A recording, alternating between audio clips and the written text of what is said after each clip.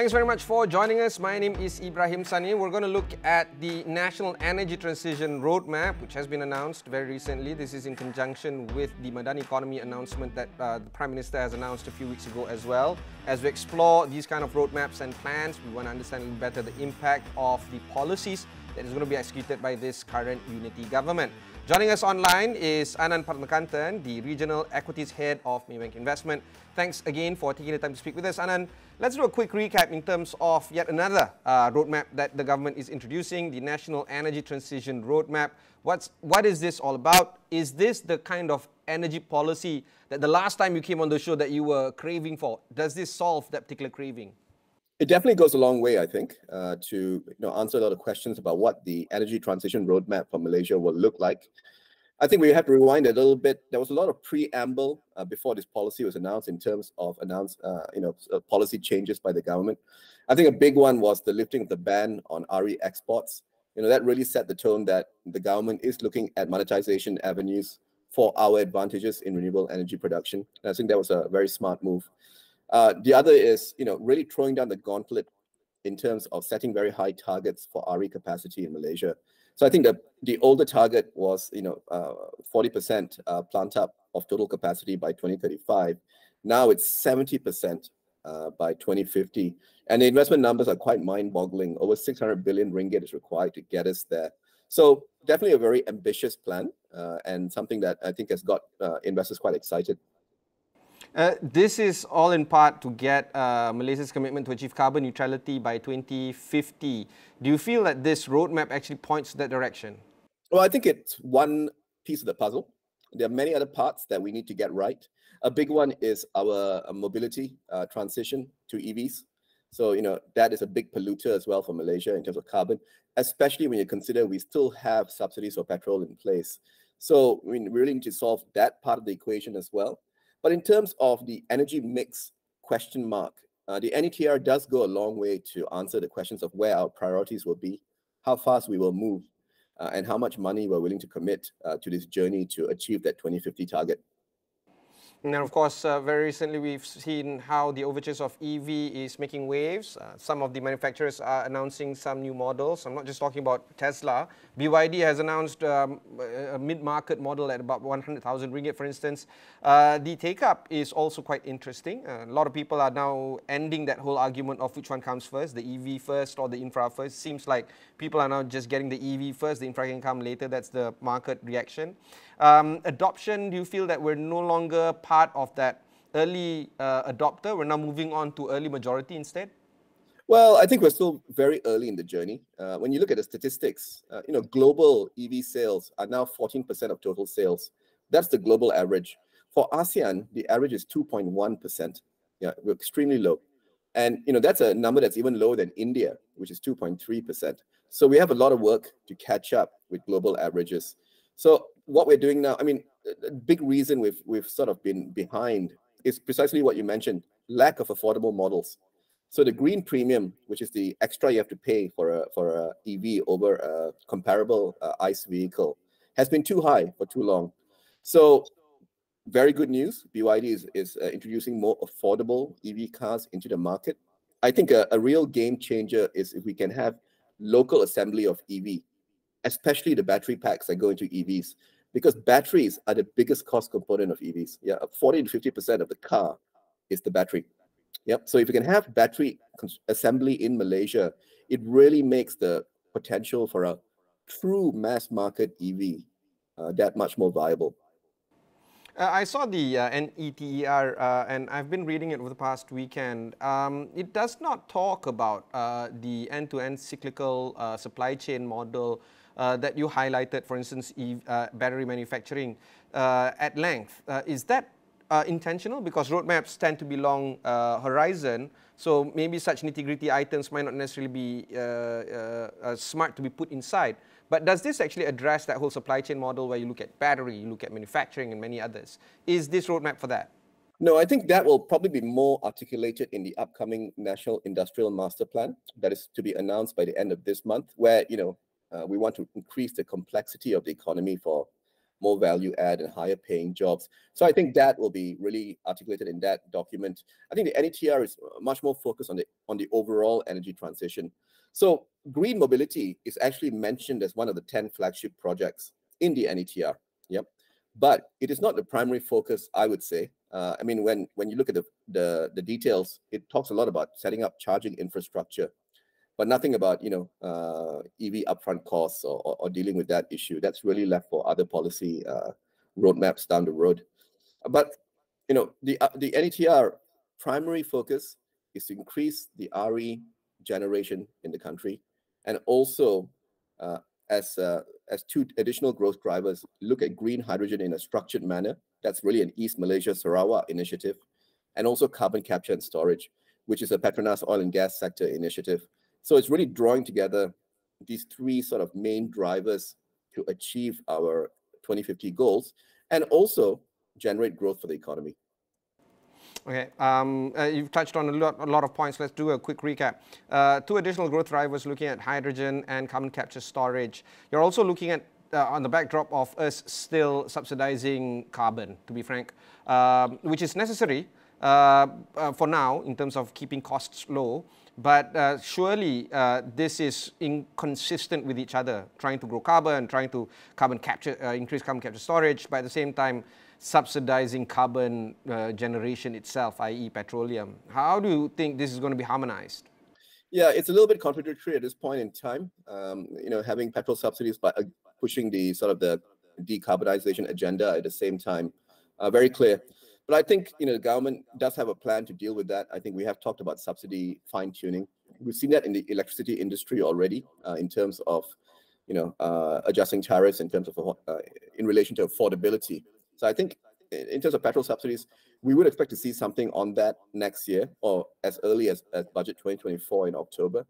Uh, but I think the longer term reality is we would have to deal with that petrol subsidy issue because not only is it a huge fiscal burden it also uh, disincentivizes buying EVs, yeah, or going electric, because when petrol is cheap, there's a lot more resistance to switching out of ICE cars into EV cars. So if you really want to be uh, an EV manufacturing hub uh, and really transition to EVs, that issue, you're right, Ibrahim, will have to be dealt with. Okay, um, the National Industrial Master Plan that is expected to be announced in a few weeks' time, the NETR or the National Energy Transition Roadmap has to be read together. Oh, sorry, a few other uh, roadmaps and plans. Yeah, uh, all this has to be tied in together with the Madani economy uh, that the Prime Minister slash uh, Minister of Finance uh, announced. How do you think all of this is going to come together? Is it gelling together, so to speak, based on your opinion? Yeah, so far so good is, is how I would put it. I think we are playing to our strengths in the NETR. Uh, it's it. I mean, we've been in oil and gas. We've been in energy as a nation for 50 dec- 50 years, five decades.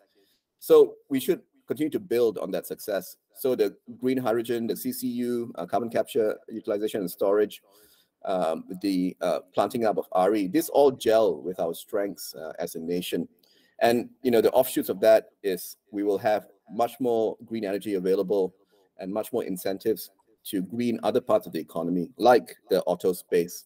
So there is there is uh, you know sort of spillover there, and I think it also uh, ties into the Madani framework uh, in in the sense that you know two things. One is we are trying to create higher income jobs. I think uh, we all realize salaries in Malaysia are too low, and we don't really have a consumer economy. Uh, we don't really have the consumer economy we want because of the suppressed wages. So I'd, more you know higher income jobs we can create through these uh, new sort of growth avenues, the better.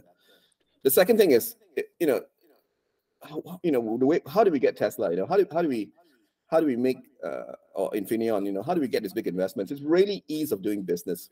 So I'm really happy that the Madani framework is focusing on the software of the economy rather than the hardware. You know, frankly, anyone can these days anyone can build a bridge, a road, a building. It's not a competitive advantage for any nation. What is a competitive advantage is ease of doing business. You know, reduce bureaucracy, uh, institutions which uh, work seamlessly, um, reduce corruption, definitely, which is ex mentioned explicitly in the Madani framework, and a better education system. Those are hard things to do, but those are the focus points of Madani, which I think will make the difference between whether we stay stuck in middle income or able to move on to higher income. Speaking of which, the progressive wage model is put into the frame following uh, Rafizi Ramli, the Minister of Economy's, uh, I guess, announcement um, a few weeks ago. Uh, we saw wages stagnating um, quite considerably. 80% of Malaysians are earning either 3,000 or below. Um, 90% of Malaysians are earning, no, 97% of Malaysians are earning below 15,000. It's just maddening. Um, uh, do you feel that wage is going to be a key topic of concern for the Madani economy? Uh, most definitely. Uh, you know, I think uh, how we go about it uh, remains to be seen in terms of you know leveling the playing field between labor and capital. Because obviously, at this point in time, it's quite lopsided in favor of capital owners in Malaysia. Yeah, they're, they're, they're making the bulk uh, of the income, and labor is losing out.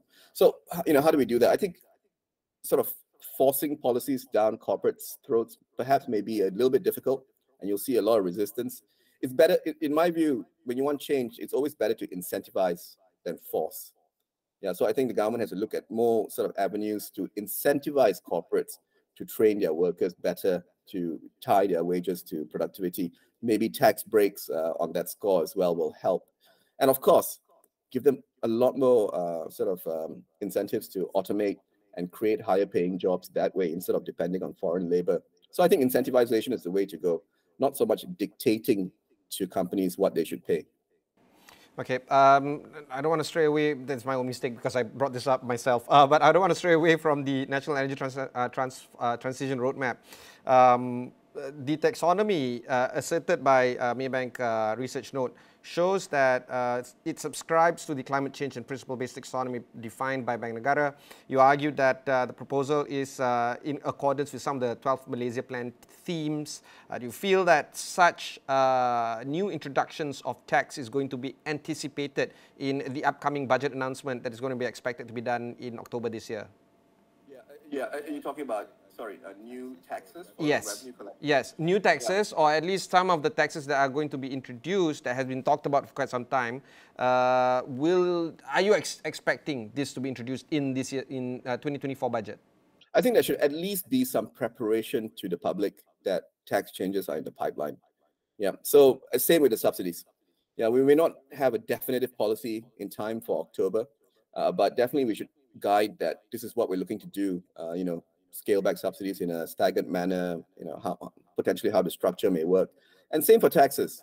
We can't, you know, the fiscal solutions will not just be about subsidy rollback. It will also have to be about tax base broadening. Yeah. Because our tax base is far too narrow uh, and it's definitely not healthy, especially when the fiscal situation is under stress. So I would like some preparations on that, some talk around alternative tax measures, some talks around a staggered rollback of subsidies, uh, and of course, compensating uh, cash transfer payments to vulnerable groups. These are all sensible things to be to be rolled out uh, in terms of at least voicing it, yeah, uh, uh, in the budget to prepare people. Okay. And the final question I want to go through uh, with you before we jump into execution um, is on uh, the uh, main purpose of this whole conversation of having an, an ETR, uh, which is to increase the regeneration, RE generation uh, in the country. Uh, we're looking at RE capacity to be targeted to be increased from 40% in 2035 to 70% by 2050. Um, the argument here is that the government will allow RE development based on a self-contained willing buyer, willing seller model. This is to encourage more foreign direct investments or DEI into this to diversify the RE programs. And the installation of solar systems in the government buildings will also be scaled up. These are kind of the plans that are in store. Where do you think the risk is going to lie uh, when it comes to this particular whole purpose of trying to boost RE capacity that is contained within this NETR? Yeah, I mean, definitely execution is something we need to monitor. So I think, you know, when you if you tuned into the Madani call with the Ministry of Finance last Friday, you know, the consistent message was we need a report card. We need, you know, you, you announce these measures, but you have to follow up with constant reporting on how the journey is going. Are we meeting the targets? If we are not, why are we behind? Are the investments coming in as planned? If they're not, how do we fix it? So we need a report card for everything. A Madani framework, we need a report card for NETR as well to make sure it, it's being uh, executed uh, appropriately. So all these measures you've just talked about, uh, we need to know, uh, you know, whether the policies will be put in place seamlessly. If they're not, what what's holding it back, uh, and that will keep us, you know, uh, that will keep the confidence going that this is not just another policy announcement, but something that's really being uh, executed on the ground. But um, Yeah, the issue with the NETR, I suppose, is there are many stakeholders here. It's not just a B2B thing or a government to business thing. Now we have households involved as well in terms of leasing out their, their rooftops for, for solar capacity. So there are many, many players.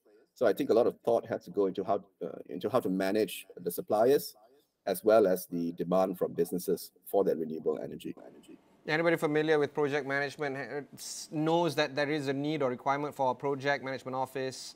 Uh, we're looking at report cards being tagged to individual parties. Uh, you know, you can't just say something and hopefully something will pick up yeah. or somebody yeah. will pick up. That's why uh, one thing that I find interesting, at least in the NETR, is that the there is a, uh, a task and a champion that is being uh associated with it. For instance, the uh, energy efficiency in terms of energy switch, and REC was mentioned, and MOT was mentioned. And then you move on to other stuff like RE, for instance, Khazanah, TNB, uh, Sime Prop, for instance. So there are clear stakeholders that are going to be involved.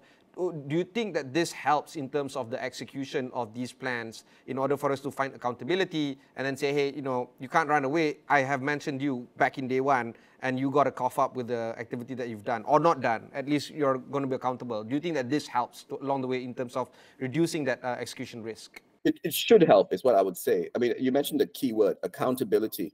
So all these companies you mentioned and, and organizations you mentioned are champions of various aspects of the NETR. So I guess what we would like to see, um, you know, is um, a regular update on how each component is delivering on their part of the of the pro- of the deliverables, uh, basically. So is Tenaga, you know, actually building out those large scale solar farms? You know, are they doing the solar hydro uh, like like the NETR said? Uh, is Sime Darby actually, you know, leasing out those rooftops from their uh, buyers of their properties in Elmina? So yes, you know, it, it's really about accountability, and you can only be accountable when things are transparent and regularly reported. Yeah, so that's what we need.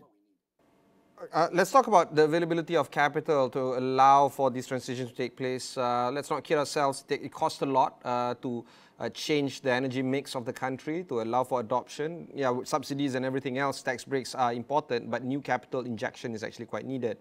In fact, your uh, research report shows that 637 billion ringgit is required to achieve a 70% RE capacity by 2050. Where, where are we going to see where these 600 billion coming from? Is it DDI? Is it FDI? Is it a mixture of government funding? How do you see uh, uh, capital being the growth enabler for this transition? Yeah, I think it's going to be a mix of all that. Uh, definitely, the government will not look to or be able uh, to fund it by themselves. And if you look at the first catalytic project they announced at the same time as the uh, as the release of the NETR, uh, the, the one in uh, in Johor, uh, you know, it brings in both domestic investors, UEM, uh, uh, as well as foreign investors. you know, things of Chinese party as well as Macquarie investment fund as well. So I think that's how we want to move forward. Domestically, we lay out the policy framework uh, we we sort of get the ball rolling with some initial investments, and then we get foreigners to come in uh, for the other part of the equation to to fund the actual investments in the parks, and it kind of makes sense because it's a no-brainer that MNCs, uh, Singaporean businesses, they would love to operate, say, in an industrial park which is 100% RE powered. Yeah, looks fantastic. Uh, in, in the annual reports, it makes you know a lot of commercial sense as well. Uh, and they would actually like uh, to be sort of part of. Uh, I mean, you'll have the RE energy option, and you'll have the the usual, uh, you know, conventional energy option as well. So it gives them more optionality as well in terms of their power sources. So it's it's really quite a, a win-win. So we would hope that foreign money sees it that way, and they will come into the country to invest accordingly. Okay. Um, final comment before we move on to equities uh, in terms of the NETR, uh, Anand. Yeah, no, I, am really looking forward to part two, uh, which I hope you know will have that accountability element spelled out as well. Because I don't think we saw that in, in, part one. I think part one was really laying out the the priority areas, and and I really look forward to sort of uh, the less obvious stuff, uh, getting more uh, time uh, in uh, with media and with investors. Green hydrogen, you know, is a is a big deal. Japanese are putting a lot of money behind it. Maybe we can work with them, and Sarawak is perfectly placed because they have tons of hydropower to create green hydrogen. Uh, so, and uh, you know, they've been involved in the LNG value chain for the longest time. So you just have to build on that. So that's a less obvious one, which I think could be quite big for the country, even in terms of export earnings. Then carbon capture and storage by Petronas. Uh, you know, that's something that's been happening I, I would say under the under the covers, so to speak. We've been so fixated with solar farms, we haven't thought about, hey, maybe we can make money from the carbon capture side as well, because we have been drilling for oil and gas all this time. We have all these huge, you know, wells which are empty because we've drained all the oil and gas. So why don't we just put the carbon back into this oil, oil these empty wells? You know, it makes complete sense, and we can monetize that. Yeah, we can do it not just for our own country, but for other countries as well, and seal it up. So you know, these are all different ways of thinking about monetization uh, of the energy industry, and I really like that. So I would like you know those less obvious sort of drivers to get more airtime with investors. Fantastic. Okay, we'll go for one short break before we continue on a conversation with Anand of Maybank.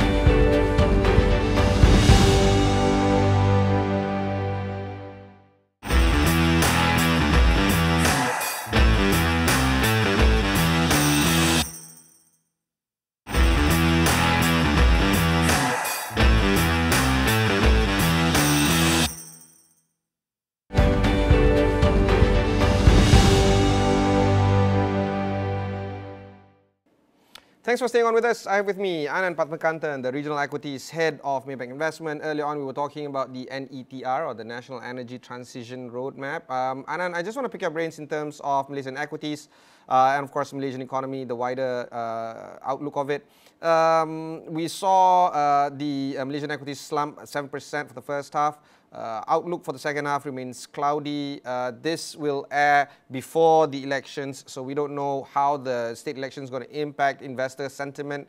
Uh, do you feel that uh, investor appetite is actually up for grabs right now? Do you feel that the uh, political risk, so to speak, has been abated? What's the outlook from uh, the House of Maybank when it comes to Malaysian equities?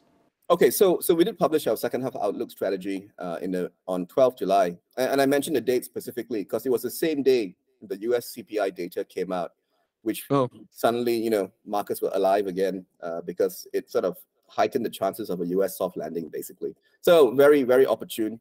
Uh, and July has seen a big re-rating uh, for Malaysia, well, substantial re-rating for Malaysia. And it was in two halves. Yeah, the first half was because of that CPI data, uh, all the all the implications for a weaker US dollar, uh, more attractive uh, sort of uh, draw for emerging markets like Malaysia. And we did see foreign inflows actually turned positive in July. That was the first part of the re-rating for the Malaysian market. The second part was more local, and that was the policies we've just been talking about. Yeah, Madani, uh, NETR. You know, investors do like that. There's a, there's a lot more sort of engagement now that you have policies being announced. I think the first half we were a little bit um, a little bit low on policy announcements. So you know, this is definitely very welcome by by investors. So definitely going to August, things have changed quite a bit in terms of momentum uh, for the KLCI, uh, and we hope that continues. Yeah.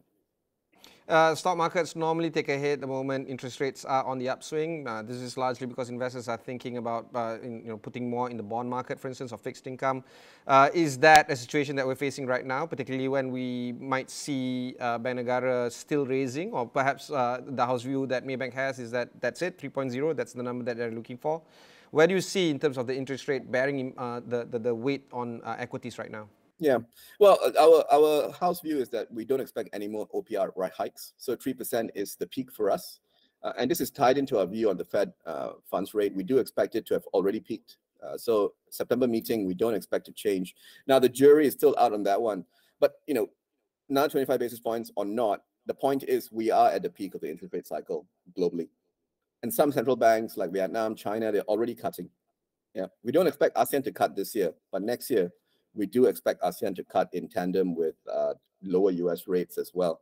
So interest rates no longer that much of a headwind for stocks. Uh, yes, definitely benefited fixed income for a long time, but I think we are at that inflection point where stocks potentially could look forward to some big interest rate cuts next year, and that could be quite stimulative uh, for both economies and stock markets. Do you think investors are reading into the political uh, sphere uh, too deep, or they don't really mind what's happening at the state elections? They don't see this as a referendum of sorts against the government, against the unity government. Do you think that that is uh, thinking that they have right now? Yeah, I think they're they're fairly neutral. I mean, when we talk to our investors, they they're keeping an eye on it. But you know, the bottom line is, this uh, state elections don't have uh, a direct bearing uh, on the longevity of the federal government. You know, we're we're confident that they will see through their term, given the current coalition and, and how they're working together. So yes, state elections, uh, there may be some changes in, in seats, Uh, but we, we don't expect that to sort of uh, disturb uh, the political environment uh, as much as, uh, you know, I guess some news flow had it a month or two ago. So I think investors are a lot more comfortable now yeah, with the narrative. Final question, Anand. In terms of the ringgit movement, it's uh, it's quite bad. I mean, I'm, I'm trying to book my own vacation. Uh, it's actually, I'm actually feeling the pinch. Yeah. So, what's your view on ringgit? Yeah. So this year we're thinking 4.5 is where the ringgit will end, uh, which is not very different from where it is now. To be honest, it's about 4.55, but it is substantially better than two months ago when you know various uh, observers were saying you know five is going to be where the ringgit is. Yeah, I know. yeah. So things have changed, and this has a lot to do with that you know, US CPI data on July 12th as well. Uh, it has really taken the sort of the the heat off the US dollar. You know, the US dollar was the king currency for mm. the last uh, 18 months, but it's starting to weaken, and that's good for all emerging currencies, especially the ringgit. But if you can wait on your holiday, you may want to take it next year because next year we think the ringgit will be at 4.15 to the US dollar. So that's a substantial strengthening, and that's really based on the fact that we don't think Bank Negara will cut interest rates aggressively. Yeah, probably it'll take their time to cut because we haven't raised interest rates dramatically in the first place. But the yeah. US, we think will cut rates by about 200 basis points next year. So the gap with the with ringgit rates will narrow, and that will be supportive of the ringgit. So maybe you want to book next year. Or travel locally and improve on the. Uh, there you go. So travel locally, cuti cuti Malaysia. Anand, thank you very much. It has been a pleasure uh, speaking to you. Uh, and of course, uh, we should be, uh, well, uh, are you going to turn up and vote uh, this weekend? Well, I'm from Ipoh, so I'm not in the picture this time around. Oh. Ni typical jawapan research analyst ni macam ni. Alright, that was Anand Padmakantan, the Regional Equities Head of Maybank Investment, joining us. We've spoken at length about the NE.TR. Uh, do check that out. Of course, we touched a bit on equities. Uh, all these kind of resources can be found on their website as well as on ours at astronomy.com. My name is Ibrahim Sunny. Catch you in the next one.